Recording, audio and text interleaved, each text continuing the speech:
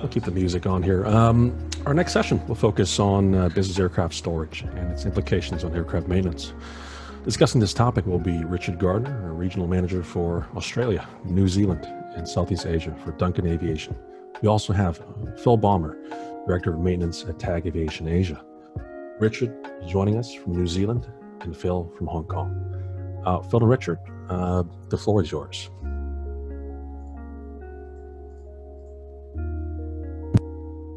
Unmuting.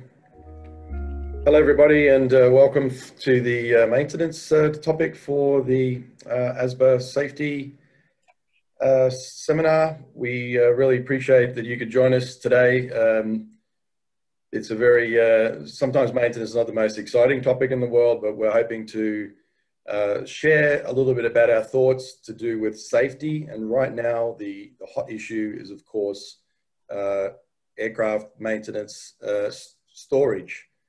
So a lot of aircraft are parked right now. We believe this is a major safety issue. So we'd like to uh, we'd like to basically cover a little bit of that and uh, get some opinions. And uh, we would very much like if during the, the presentation from Richard and myself, you'd be able to put forward your questions uh, via text. Uh, and we'd be very happy to answer those towards the end of the presentation. Uh, so uh, if I could just start, I'm with uh, TAG Aviation Asia. We're a, a, large aircraft management company. We're also uh, performing uh, maintenance, Macau, Hong Kong. Also, we have our FBO Macau. so yeah, we're, we're doing, um, we're, we're, looking after a lot of different aircraft types, a lot of aircraft models, both performing maintenance and doing the CAMO. so that's my introduction. If I can just hand it over to Richard for a quick introduction of himself. Great. Uh, thanks, Phil. Um, good afternoon, everybody from uh, not so sunny New Zealand. But anyway, uh, great to be here this afternoon. Yes, um, my name's Richard Gardner. As I said, I've uh, looked after Australia, New Zealand, and up into Southeast Asia for Duncan for about uh, 10 years, I guess, and always enjoy getting up to your part of the world. So, for those of you who don't know, Duncan Aviation is the largest family owned um, MRO business and the business aviation in the world.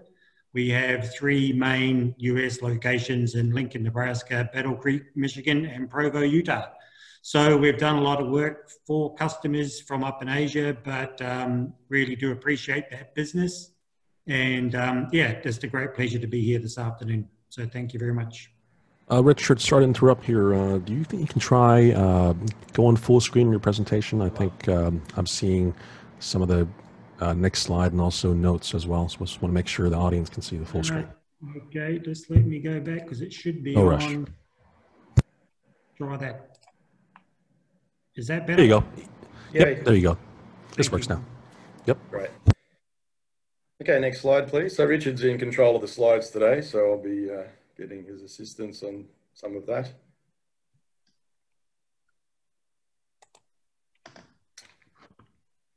Okay, so back to the topic at hand. Uh, key point is safety. Right now, we've got unprecedented times. Um, the aircraft in our region have been heavily affected due to COVID-19. Uh, this is not a new topic, but it's something that's ongoing, and this can really, this is really beginning to affect the safety of uh, some of our fleet. So we believe that this is something that needs to be highlighted. One of the key points is that in, in countries such as, say, US or even, well, luckily for us, mainland China, a lot of the flying has returned to a reasonable level. Um, you know, we're hearing figures of 80% plus of pre-COVID times, uh, sometimes higher, but there are certainly some aircraft that are parked due to financial situations. Uh, on top of that, in Asia, when you're talking about countries, uh, particularly Hong Kong, Singapore, and many others, uh, they're relatively small countries, and every flight is international. So those those uh, geographies are much more affected than others. Uh, and I think the majority of our uh, countries within Asia, uh, we're suffering a lot of flight restrictions, and the flying patterns are, you know, 30% or less of where it was pre-COVID. In some situations, even worse. Some slightly better. So we really do have a heavy impact of the flying schedule, a lot of aircraft parked.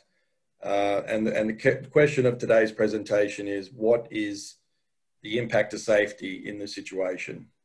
Next one, please, Richard. So what are the storage considerations? Um, essentially, there's a couple of ways to look at this. There's your short-term or active storage, uh, and then there's the longer-term storage. Uh, some every single OEM seems to do it slightly differently than the other, and there's also airframe OEM, engine OEM, uh, with different requirements. But essentially, you know, you've got the short-term situation, it transitions into a, a medium term, and then in some cases, a much longer long-term situation. Uh, and, and all of them require different activities to keep the aircraft, uh, you know, in good shape during this period. So when this is happening, you know, who is going to do the work and where? Where are you going to park the aircraft? And when we want to return the aircraft to service, what's the reliability going to be like? What are we going to do to ensure the aircraft can continue to fly and safely? Uh, on top of that, there are some non-maintenance related issues like the crew currency. Um, and uh, there are some commercial considerations as well that we're going to touch on very briefly. Uh, and then, of course, you know, long-term storage, putting aircraft out of service, keeping the aircraft flight ready. Um, you know, what are the, what are the, what's the framework? How do we decide what to do and look after our aircraft during this period of time? So I can hand over to you now, Richard. So thanks, Phil. Um, yeah, one of the interesting parts is is really that storage timeline, and and it's been really interesting through this whole pandemic. Is um, I think that everyone, you know, when we started, we felt like this may not last that long. And, it, and it's really been an evolving situation. So we'll go through some of that. As you know, short term parking is what everybody sees in operating business jets. It's just your standard every day. What do you do when you go on a business trip or, you know, family holidays, that sort of things for the principals. So you're all very used to that. And then that's kind of gone into the longer term parking and the active storage. And we've definitely seen that. That's the most common thing that everybody is doing. And with some operators, and especially guys that I've talked to up in Asia, the low utilization customers for some of the management companies or flight departments that have got very low utilization, they would actually be in this eight to sort of 60 day mark as their part of their normal operation. It's nothing to do with COVID or it's just how, how they work. And then, yeah, we're looking at that sort of voluntary put out of service.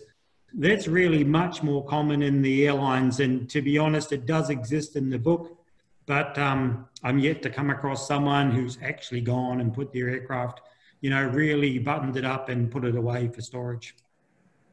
So the active storage is, like I said, it's the most common thing. We've definitely seen a lot of flight departments. It is quite different between the, the people who run just their own flight department versus, say, a management company looking after several airplanes. But certainly a lot of companies, if they're in a flight department, they've got people working from home. They really are only coming in when required some places, like Phil mentioned in the US, you've seen where the domestic flying has picked up. So for them, it's really been they'll only come in if there's a flight. But in typical times, you know, it's really thinking about people have been keeping away from each other because of COVID restriction, of course, and that's part of that safety aspect. Um, people are also doing split shifts trying to keep uh, situations where they're not getting cross contamination if someone does get infected with COVID. One of the things that you really need to consider as part of that, and it's a little bit like a lot of maintenance anyway, is a very accurate handover. Um, one of the main features that we've heard about is because people are not working at it all day, every day, the same as they did before, things can be easily lost, things you can easily, things that you normally would do as part of your standard, like coming to work, pre-flight, where you go. Because that's out of the norm, we're seeing those opportunities for safety slip-ups there. So we do have to be quite careful. Um, one of the other situations that really operators have talked about is thinking about going into that long-term storage. And like I said, I haven't seen anyone do that yet but it's a really, it's not just um, tape up the airplane and walk away. It really is a much bigger exercise. And a lot of people, A, they just don't know when they're going to fly again, but it comes down to it's kind of more trouble than it's worth. So you really need to take that into consideration if that's what you're thinking of doing. Um, one of the other things that's quite an interesting part of this is really that the whole pandemic has driven the slowdown in flying, and it's something we really haven't seen since probably the, um, the GFC in 2008. And the 2008 GFC, there was a lot of learnings came out of that and um, preservation requirements. Some of it was driven by financial burdens, which people, you know, they kind of maybe shouldn't have been in the business aviation world anyway because they kind of couldn't afford it. And, and airplanes were just left to sit. And that's something that we've seen this time has been a big improvement. People have been a lot more aware of requirements. And I think as we'll go through later on with some of the commercial considerations, people have seen the results of not doing it properly. So you need to really think about having a good plan. It's all in the book. It's all there in chapter 10 of the maintenance manual, but it's something just to be thinking about. So as Phil said, one of the big parts of it is like where, when, who, that sort of thing. And where is it going to be parked? I mean, I've seen certainly a lot of the US flight departments have their own hangars, that sort of thing. That's fine, you know, in those organizations, it's not such a big problem. But when you look at uh, Hong Kong, for example, I mean, parking, especially hangar parking, is very restricted. And it's something that you have to consider that this is in a lot of ways has gone on longer than we thought. And there are issues coming up like storms and weather conditions that when we all thought we were going to be out of this in two months time, the tornado season wasn't really a problem. But now suddenly we're a lot further down the track. And, and that's really something that we need to consider, you know. And I'm sure that um, up there, Phil and your team have really seen a lot more of that sort of uh, that sort of thing where we weren't expecting to be where we are today. Yes, correct. Uh, we, we've certainly had uh, some exciting times here with a, a, couple of typhoons that were fairly close to uh, passing nearby Hong Kong. Uh, the parking here, the airport authority was actually very accommodating in uh, because we're way out, we are way over capacity for a period of time there. Uh, the airport adapted, uh, let the parking go on, uh, but there was a lot of hoops being jumped through by the Hong Kong BAC and and uh, and AsBAA about okay, how do we get aircraft out if a typhoon comes? Uh, we have very limited hangar parking here. Actually, it's always full. It's always been full. so you know, and if we have to get the aircraft out, where do we go? The countries that have restrictions. Can we get into those countries? Can we not get into those countries? How far do we need to take the airplanes?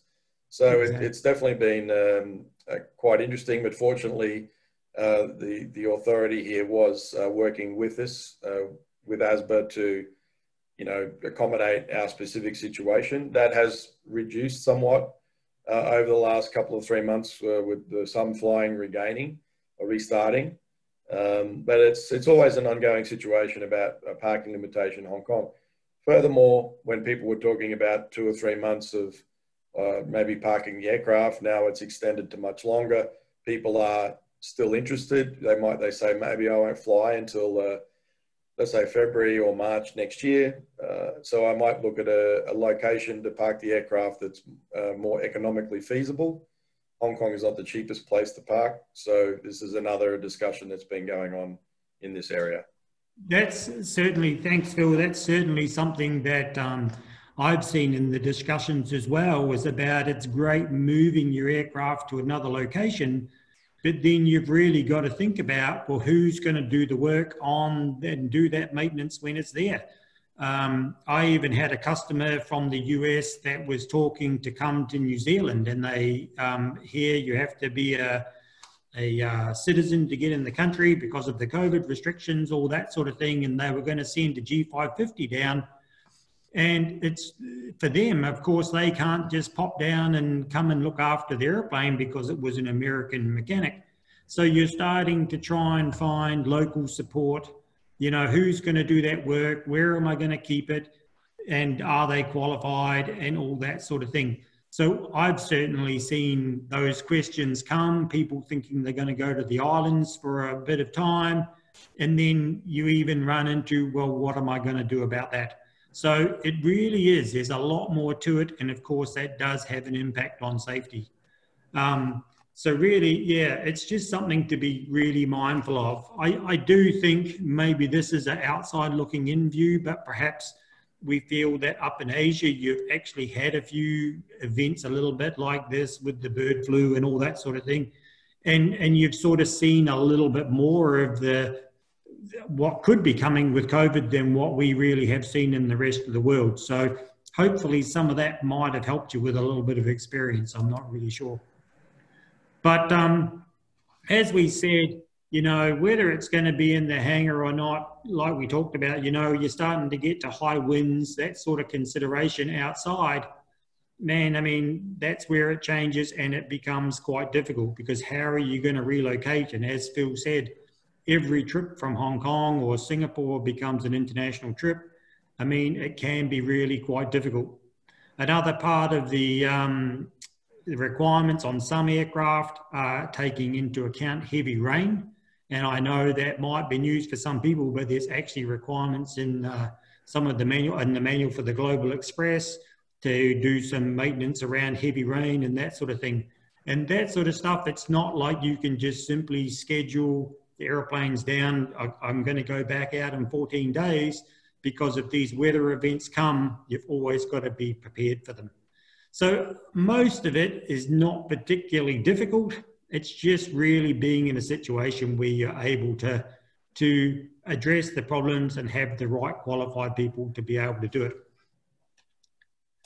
Yeah, not, not just the COVID uh, situation, but with aircraft that cannot park inside and they are in places where there can be torrential rain, um, some of those actions, I mean, your maintenance requirements obviously need to change.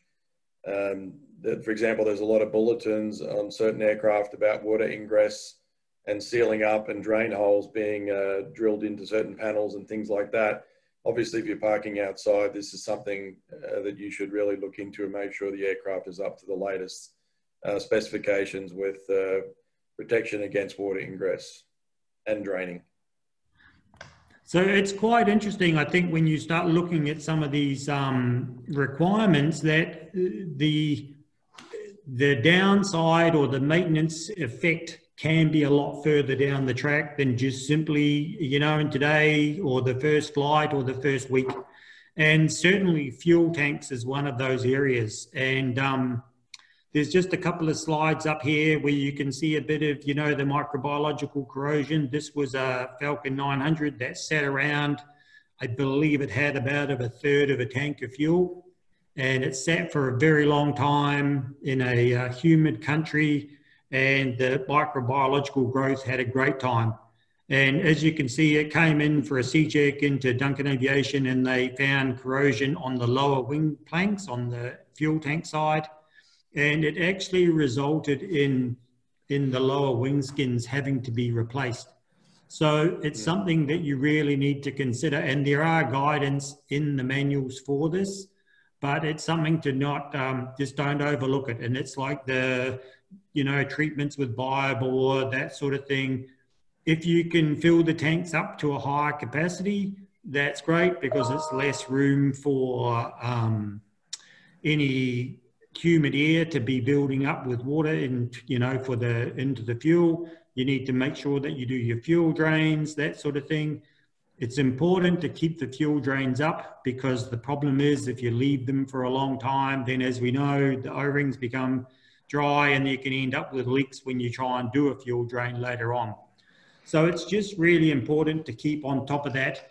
And although it's not a particularly, um, it's not a, a subject that you're going to see the results of quickly, but you'll certainly see them in the very long term. And it's a pretty expensive pastime trying to repair it.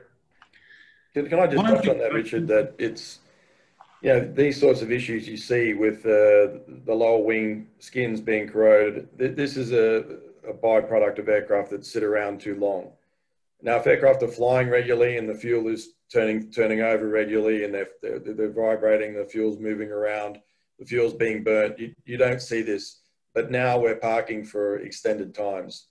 Um, and, and a lot of business aircraft do park a lot. They might not fly so much. So again, another recommended practice is you know, increase increase that frequency. So there might be a requirement from the OEM to do Biobor, let's say once every 12 months.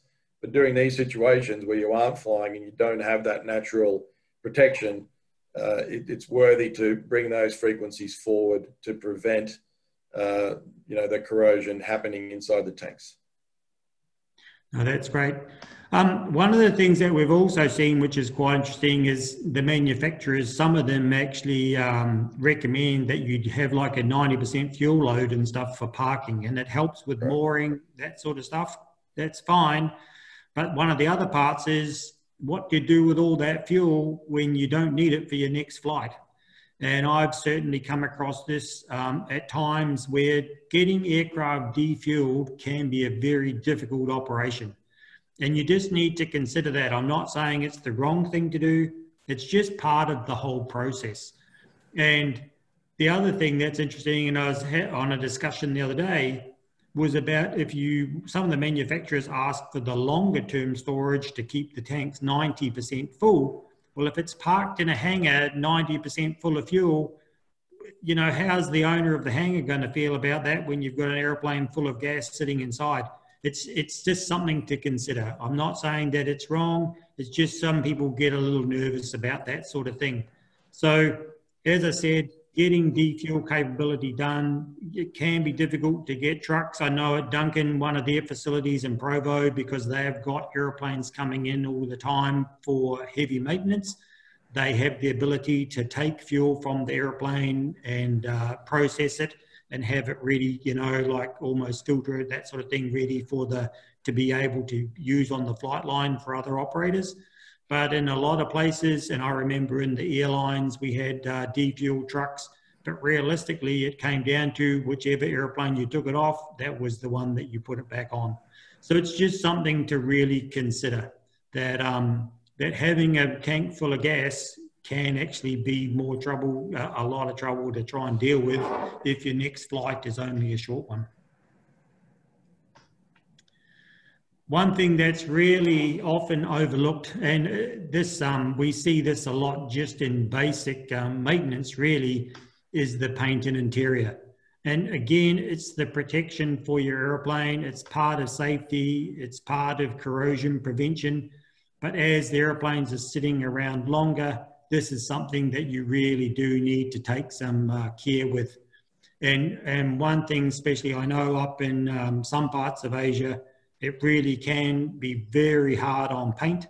And so you will already have maintenance practices in place, but you just need to keep those up. And that's part of this whole active storage part of it is, is keeping that maintenance up and it, and it really isn't just a case of well i can't fly now so i guess i'm going to save a bunch of money on on uh, maintenance you've got to keep these things up and uh, the bright work that sort of thing keep it protected so yeah it's just important to um, to really maintain that sort of stuff interiors as well the same sort of deal you need to think about humidity especially up where you guys are that's why all the airliners go and park in Alice Springs and places like that. Humidity is not good for the inside of especially a business aircraft. So you can get some leather treatments, that sort of thing, to get that to try and help the leather. Airing out the cabin on a regular basis is important. And especially things like it's pretty basic, but just removing all food, you know, make sure you dry out the ice bins all that sort of stuff to keep the bugs out and, and that sort of thing. You don't want to be leaving anything that's really basic and easy to kind of take care of, but just don't make it easy for all the insects and that sort of stuff. Um, one of the other parts, as we've seen, is as well is just basic things like closing window shades and just keeping that heat out as much as you can. And of course, the flight deck, trying to, you know, having the window shades, uh, the windows covered as well just to make sure that you're for the sun protection and that sort of thing. So a lot of it's pretty simple and it's what you do anyway in day-to-day maintenance, You just got to keep remembering in that active storage, it's really active. And just to uh, jump in there, the it's it's uh, it does affect airworthiness and it is a massive commercial consideration. Anyone of you that may know me know that my favourite topic is uh, bright work and uh, staying ahead of that.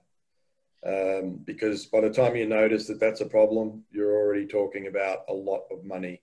So for those that uh, that aren't flying much and are sitting in potentially uh, you know environments with not so clean air um, with these sort of nasty particles, just you know, keeping that that bright work frequency uh, up and even more than normal is recommended during these parking times. So this is one of the things that I think is pretty interesting is the um, engines. Of course, we all know that engines are one of the most expensive parts of the aircraft, and the engines need to be run on a regular basis. It's all in the maintenance manual. It's definitely something that you can do but again, it's part of making the plan, make sure you've got the staff to do the runs or the crews or whatever it else. And the interesting thing is that this is not an optional activity. It's this is not something that you can choose that you might do or don't. You can choose not to, but the remedy for not complying is very expensive. And I've been through this before with, um, as a, I used to run an engine shop down in Western Australia, and you see it that when you haven't, when someone hasn't preserved the engines properly or hasn't complied with the runs and documented it properly, you can go to the manufacturers with, well, this is where we're at. And I can tell you they are not your friend when it comes to giving you a dispensation for this kind of thing. It's something that they're very strict on, and the overhaul cost is very high. And also, suddenly you're into that unscheduled engine work and the interesting part is it's a little bit like an insurance claim when you have a FOD event or something like that. You may actually only have to go into the engines to access the mainline bearings, say, and replace those. That's kind of the cheap part. It's the parts that you find along the way, the nozzle guide vanes that are beyond limits, the combustors that are cracked, that's when the conversation starts to get quite interesting because no one wants to pay for that, but unfortunately you're in there now. So, in the power by the hour agreements like corporate care, JSSI, that sort of thing, they don't want to cover it and it all starts to get quite interesting. So, as I say, again, it's just part of that activity. There's nothing difficult about it. It's just a case of making sure you keep on top of it. And this was definitely something that we saw come out of the GFC in 2008 and also just really make sure it's well documented. Um, covers, that sort of thing. Phil brought up a great point um, when we were chatting about this yesterday about, you know, on it's all great saying put your covers on your engines, but you get into the globals, the G650s, that's a pretty high up and, you know, it's, it's quite an effort getting those things on and off. And and you also have to make sure you've got the right ground support equipment to do that because it's not fair to be trying to put people up on ladders and bits and pieces, you know, to put covers on because they are big, they're heavy, they catch the wind. So just again, it's just about being prepared. One of the other points that I think is worth considering is, is how those engine cycles from um, engine runs get treated. I remember being a bit of an old bugger now that you know, back in the day with the older engines, nobody ever worried about any of that sort of thing. Line maintenance just did shift, did runs, and that never got counted. But that sort of stuff, those days are gone. And realistically, making sure that you understand how to treat those uh, engine cycles in the logbook is an important thing. One thing, to be honest, is though that at the end of the day, especially with the big aircraft, I think like the BR-17s, that sort of thing, they've got a lot of cycles on those discs and compared to what business jets are doing versus the commercial guys, you're not really burning up. It, it's the, the, cycles aren't overly precious, if you know what I mean, compared to you're not going to run out of time. But it's just important to really make sure you manage that well. Um, the main landing gear, again, it's just another activity to watch out for, tyre inflation. We've seen that, especially, you know, check that it's per the maintenance manual. Uh, move the aircraft to rotate the uh, tyres to prevent the flat spots. I've certainly seen a lot of people that talk about taking the airplane out, even if it's more or less for just a pre-flight, avionics run up, that kind of thing. And that's great because it means that the tires do end up, tend to be, when you push it back in the hangar or park it back in a different spot, the tires do end up to not be in the same position where you left them. Just simply pulling the airplane forward a meter and pushing them back again to exactly the same spot isn't what they're looking for here. So you need to make sure that the tyres have rotated at least and parked 90 degrees from where you were last time. And there's also some manufacturers ask for gear swings. So that's something that's quite interesting. Some people do, some don't. And again, it comes down to that brings on a whole new part of, you know, jacking aeroplanes, that sort of thing, and making sure you've got the whole logistical part around that. But again, it's uh, it's all possible. It's just a case of making sure you have the right people, gear, and equipment to do the job. So as you can see, there's quite a lot to this whole active storage um, program. Again, we've seen with um, avionics, uh, especially important to give them a run, looking through the manuals. It really is. I mean, if it's like without power for 14 days, some of the units, they ask you in the manuals to be running them, you know, two hours on, half an hour off, another half an hour on. It can take up to eight hours. So it's a considerable amount of time to do that in the day. Um, units like the DU870s, you're supposed to, if you haven't got them in the airplane, if they're for 14 days, I think it is, you can, um, it, sorry, I was reading one of the manuals, it was about taking them out of the aircraft and again, and putting them into storage it's all quite a lot of work. You want to allow your IRSs to align, GPSs to come online, that sort of thing. Keep up with your software updates and all that sort of thing in the avionics systems. Nav database updates, we've seen that a lot, and especially people thinking that they'd like to go away from some of the COVID hotspots and park up for a while. Just doing that consideration of how you're going to do nav database updates and who's going to do them. I have seen, which is quite an interesting thing, where some customers were hoping to be able to have a mechanic come to wherever the airplane was parked, and even if there's no COVID restrictions getting them in, sometimes the mechanic has to do um, quarantine on their way home. And then they're stuck in quarantine for two weeks. The MROs won't send the guys down there because of that quarantine. They don't want them out of the hangar for that long. So it's just really interesting. It's all part of the whole puzzle to make sure and keep that keep that regular and who's going to do it. Uh, batteries, that sort of thing, just obvious stuff, you know, what's a parasite on the power wallets and storage, all that sort of stuff. And so it's just a logistical challenge, even just getting power carts and power and hangers and that sort of stuff. It's just all needs to be considered. I think there's an interesting part here is about actually sometimes you really just need to be looking, just take a step back, especially if the airplane's in the hangar or as you're walking out. It's just take a step back and, and look for signs of, you know, if it's on a bit of a funny lean and you've got one oleo down and one up, just, you know, you can kind of get so focused on, on, I guess, the, the wood that you forget to see the trees. And and that's the whole thing is just take a step back and look for unusual stuff. Is there any leaks? You know, what's that funny thing up on the tailplane and it's a bird nest up there? You know, it's just keep your eyes open and just don't don't take things for granted because it is a different time. Also in the hangar, you know, if you've got a hangar and you're in that sort of flight department, it's just making sure you do the maintenance on that facility as well. You know, you've got tooling, interesting parts like tool calibration. It's all part of that thing. If you if you're doing some basic maintenance and then you aren't using a calibrated tool, you can again set you up yourself up for that problems later on. Ground support equipment, making sure that it's well serviced and maintained. Chemical leaks, because you don't go out there very often to where the chemicals are stored. All that stuff, you know, it's just keeping up with it. There's nothing it's just in your day to day work, you would normally see that. But when these different times, it's just something that can be overlooked. Uh, Richard, can I just jump in there? Uh, I'd just like to encourage uh, anyone that has any questions to uh, send them in via the Q&A button. Um, we're going to uh, record those and uh, go ahead and answer them at the end of the presentation. but they take a little while to type out, so please feel free to type them as the presentation goes along. Thanks. Great. Now that's that's a great idea. Thanks, Phil.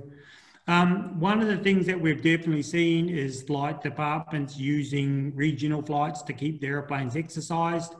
Um, I did have one uh, customer of mine saying, well, he's paying by the for the power by the hour contract anyway. They've got minimum hours to use, like might be 150 hours a year or that sort of thing. They've kind of used that. You're chucking a bit of extra fuel, and and that's all it really costs. So it's something that's worth considering because as well, crew currency, and as Phil's always, he's talked about as well, is that really the best thing for the airplane is to keep it flying, keep it active, and that just means trying to schedule that. I don't know if it's that big a problem up where you guys are, but certainly in some parts of the world, the optics of being seen to be flying around in a global express just to exercise it and perhaps parts of other parts of the company or the country aren't doing that well because of COVID and the economic uh, impacts. It's just something that uh, I know some flight departments will consider. Other ones, of course, it won't be an issue for them. So just worthwhile, just, you know, it's just one of those considerations. And this is extremely important. The, the, um, the GFC really brought this into place is to make sure that you document what you've done. We have seen this and it's it's the old story. It's it's kind of easy to do at the time, but if you don't keep on top of it, people change, things kind of get missed, and you really need to keep it documented properly and keep a really good log of what you've done and keep it in the logbook or in your maintenance program. And that was certainly something from the GFC, and it's been very hard to uh, prove later on. And it pre-buys, that's the premium time where it could be two, three, four years down the track. You could be upgrading your airplane, looking to sell this one. And I know that the people who are doing pre-buys are looking out for this kind of thing. And they did it in the GFC, and they'll be doing it again for the COVID slowdown saying, well, look, we all knew everybody didn't fly much in 2020. Can you just show me what you did during that period? And it's a very, very important to do because it is so difficult to go backwards from that point and try and uh, re, you know, think of what do we do and all the rest of it, and then who did it and who's going to sign for it. So again, just keep on top of that, and it'll make your life a lot easier. Okay, so I'd like to run through some examples of the requirements that are out there. Uh, I'm sure for a lot of you that are looking after aircraft in the CAMO sense or in your own flight department uh, are already aware of these, but I can tell you that during this period, uh, I had a few moments of, oh, I didn't know that, or gee, that's an interesting requirement. So it's uh, we're trying to just run through a few just to sort of encourage um, everyone in our industry to make sure that they're having a look at the the AMMs, uh, the you know the advisories from the OEM, and making sure that you know you're keeping your aircraft um, up to speed with with these various requirements. And there are very different approaches from different OEMs. Uh, so as a first example, G450 uh, flight ready. Now this is flight ready storage. I think as Richard said, not too many people going into long-term storage, but this is a, quite an extensive requirement. I mean, essentially, if you read through the procedure, it's every day, check the aircraft, looking for chocks, covers, uh, every three days, engine runs, uh, every 15 days. I mean, there's more than just this, by the way, but this is just an example of what's included. We're talking about uh, rotating wheels, um, and then, you know, lubricate exposed, exposed portions of flight control, pistons every 30 days, and then at 60 days, you've got the landing gear cycling, which requires you to jack the aircraft. If you have not flown the aircraft, you need to do the jacking and the gear cycling. Uh, next slide, please. Uh, okay, so Bombardier, uh, this was uh, from their, their, advisory wire, uh, 10002, Rev 2, which was uh, tied in recently with COVID uh, impact. So 604, 605 Challenger. Essentially, it's a 14 day parking cycle with engine runs, taxis. Uh, and then after you've done eight cycles of 14 days and you've got to look at fuel samples. Um, interestingly, the maintenance manual says that after 61 days, you've got to, you have to pickle the aircraft, you have to put it in long-term storage. But this uh, advisory wire has basically superseded that to say that this could go on indefinitely um, until further notice. So that's uh, that's good news. Uh, on the global, it's a 30-day cycle with engine runs, taxi. Oh, sorry, we just jumped back there, Richard. One. Uh, so yeah, engine runs, taxi on 30 days, and uh, after four cycles of 30 days, again fuel samples. Um, it's uh, yeah. So again, two different, very, two very different approaches from uh, from OEMs. Um, so again, this is what's written at the bottom: valid until international flight restrictions are lifted in an aircraft resume normal operation. So that's in accordance with the advisory wire, which you can easily get if you're a Bombardier operator. Sorry, next slide, please. So over to the engines. Uh, GE CF34. Uh, this is a very specific one that uh, I'd like to share because uh, the statement there is that the engines have to be operated above 70% N1 for more than 10 minutes within every 30 day period. However, if the, if the engines are put into a short term storage, then the engine run uh, must be operated above 70% within every 90 days. Now, the definition of short term storage when you look in the manual is actually having the engine covers on, but you've got to put the engine covers on uh, within a short period. So after you land, the engine covers have to go on quite promptly. And that will give you the extension where you don't have to do that, that uh, high power run every month. Uh, but if you don't have the covers, you're you're going to be obliged to do that high power run. So, you know, it's it's the engine manufacturers. It's it's a big part of it is covers. Um, next one's uh, the uh, Rolls Royce. Uh, oh, sorry, back one, Richard, please. Yep. So uh, 710, 725 Tay, very similar with each other. Um, so generally speaking, the you know covering the front and rear of the engines after grounding. Uh, this protects, you know, the, the ingress, the birds, all that sort of thing. We know about that. Uh, and then the engine run every 30 days at least, and up to six months, or full engine preservation with moisture control. So if you look at that, I mean, these engines are obviously on the Gulfstream and on the on the global, uh, but the the OEMs, the, the airframe OEMs, are suggesting that you do runs a lot more frequently than that.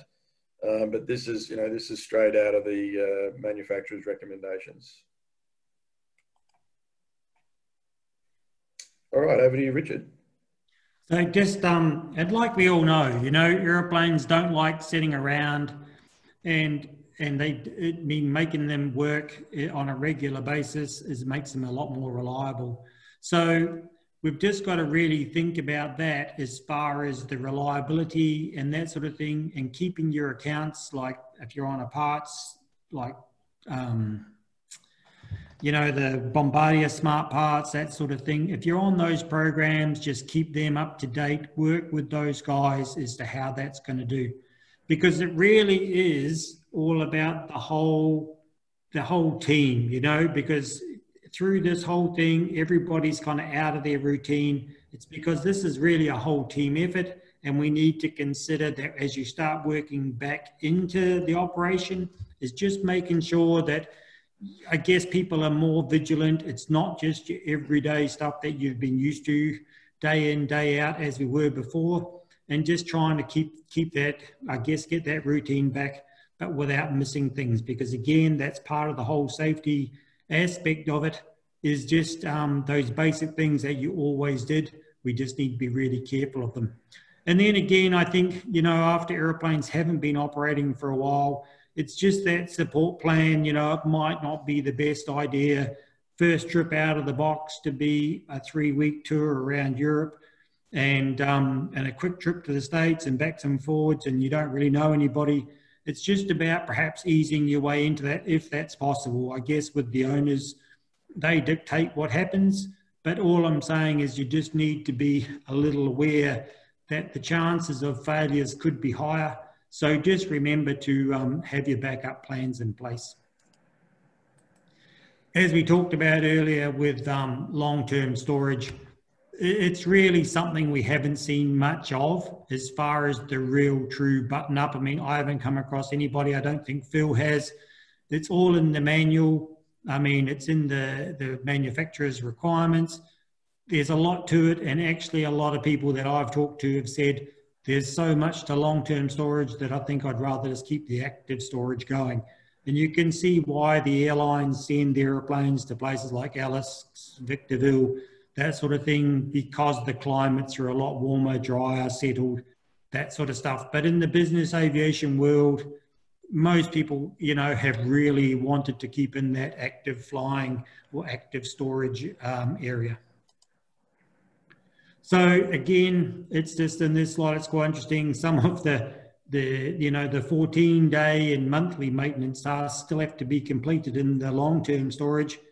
It, as I say, it's such a big job. You're almost better off just to stay in that, uh, in that same consideration where you were. So this is one part that I know it's not particularly um, along the safety line, but it is part of it as well. Is really thinking about the commercial considerations of your of the program. One of the things that you need to think about is that if your airplane's leased or financed, you know, is part of that. The terms of the agreement is to keeping your airplane in an airworthy condition. And actually, that becomes part of what's quite interesting is putting it in storage, maintain that, it's just interesting to consider that and think about how is that going to affect my lease or finance arrangements. I'm sure if you work with your, you know, financiers, that sort of thing, you'll easily work it out. It's just something to consider. And again, it's the same thing with the power by the hour agreements. I know a lot of them now are much more um, diligent on every year, tallying up what you've used, what you haven't, any pull up fees, that sort of thing. But it's just something to really consider and work with your um, providers on, especially, you know, exercise flights, that sort of thing. Some people feel like they've already paid for it, so I might as well use it up. And this um, this next slide is just, it's, it's not an ad for JSSI. It's just that they happened to put out a communication on it, which I thought was interesting and a bit more proactive. And I believe a lot of this was driven because of some of the uh, activities from the financial crisis. There was a lot of the financial companies and power by their companies that found themselves in some difficult situations. So I believe that they've done quite a lot of learnings from that. So if you are on those programs, just consider how that's going to impact your operation. So really, just from my point of view, um, yeah, I just think it's just it's quite a a big subject in some ways. A lot of people, especially for you guys up in Asia that are on low utilization airplanes, you'll be doing almost active storage in your normal operations, let alone during a pandemic. But just something to really consider. There's quite a lot to it. None of it's really that difficult. It's just a case of making sure you've got a good plan in place. So I'd just like to thank you for your time here. I'll hand over to Phil for his thoughts and uh, we'll take any questions. Uh, yeah, so please uh, type your questions in and send them in. We'll get uh, back to you after we've finished. Uh, my, my final thoughts are, uh, you know, make sure you document the situation. If, if you don't document the situation, when that aircraft goes to sell, even if it's two or three years from now, you know, if you can't prove that you were keeping your plane flight ready and you didn't put it into long-term storage, questions will come during the PPI. This is, we've seen this before. Um, the other question, which we haven't really touched on, is what if your aircraft has exceeded uh, the requirements? If there's something you haven't done, you haven't kept it up to speed, um, then you know really the next step is to go back to the OEM, create that engineering order, and say, okay, I haven't complied. What are my required steps? Uh, in which in which case they will come back to you and say yes, please do A, B, C, D, E to return the aircraft to uh, to airworthiness status. So if, if, there are exceedances, contact your OEM and uh, they can steer you in the right in the right direction. Uh, the other thing I'd like to say is that you know what's written in the in the manuals uh, in chapter five the time limits and maintenance checks, uh, they're all minimums. So if, if you're in CAMO and you're controlling the maintenance, remember that they're minimums. They say, okay, you need to do Biobor once a year. Well, have a look at your situation. Uh, what is it? Is it prudent to do it twice in the year instead of once? Because the aircraft is parked and it's not getting that um, that normal aircraft operation to prevent um, biological growth sitting in one place on a wing panel for weeks at a time. So, you know, these are the things think outside the box, think outside the minimums, um, extra lubes, uh, taking care of fuel, and, to, and following the manufacturer's requirements um, is the best way to keep the aeroplane safe. Also reliable, and to make sure that when the airplane goes to sell at some point down the road, that um, that it's a clean sale and uh, you're not going to be, you know, caught in a trap uh, because you missed some issues uh, during this long-term parking period. So Thank you very much for joining us. We do have a couple of questions coming in. Uh, first one is, uh, all these talking points show a plane with low utilization is still better uh, off than a stored one. Have, how have clients responded to recommendations for regular exercising flights? Uh, that is actually an excellent question. Um, in my opinion, the recommendation is, for example, uh, with Gulfstream with a gear swing every 60 days, uh, if you've got flight crew available and the airplane's in a place where it can be done, the ideal situation is to, to fly the aircraft uh, periodically. Some would say more, some would say less, but to me, if you've got a 60 day requirement to jack the aircraft and swing the gear, that's a good opportunity to trigger a local flight and take care of that requirement and exercise the rest of the systems in their natural environment as opposed to uh, to doing band aid. I call it band aid work. You know, main, trying to maintain the airplane on the ground. Um, and I would say, to answer your question, Tom, I would say it's uh, it's been uh, mixed mixed reaction. Some some uh, people are I don't want to fly, I don't care, uh, I want to save the money, and others are you know if you recommend it, let's do it. So definitely mixed reactions.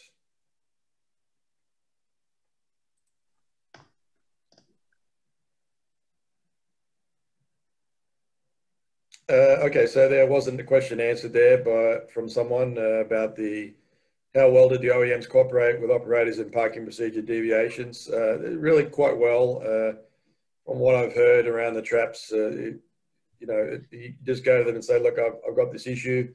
I wasn't able to, um, I wasn't able to uh, do the work on time because of a situation with couldn't get crew in there. I mean, some aircraft are parked in places where we can't get the crew in or you know for a while or the, another situation you might be might not be able to get the airplane to any maintenance location so you might need those extensions and there might be a requirement for a no technical objection to ferry the aircraft uh, gear down or whatever uh, so there, there's always a way to get an aeroplane out um, I shouldn't say always a way there's nearly always a way to get the aeroplane out even if it has sat beyond uh, if you are deviating uh, from the OEM requirements. I think the big thing with that, Phil, like you say, is try and address that earlier if possible. The earlier you can get onto it and the earlier and, and alert them to if you've got a problem coming is the better way to go than trying to go back afterwards. And I know that's especially true for engines. If they haven't been um, preserved properly or ground run, turned over, it can be difficult to get the OEMs to give you some leniency on it. So the earlier you can address it, the better off you're going to be. Yeah, and to that end, if you if you actually start, uh, you know, if the requirement is because you haven't run the engines that you have to start doing borescopes, which you wouldn't normally have to do at that particular mm. point, and then you find something else that, that might not be related to the storage, uh, of course, uh, you're opening up Pandora's box, and uh, it's going to can end up costing you a lot of money, in, indeed. Okay, I think we'll leave the floor for another minute or so. Any more questions? Any more opinions on this? Has anyone run into any uh, challenges they they uh, they'd like to share?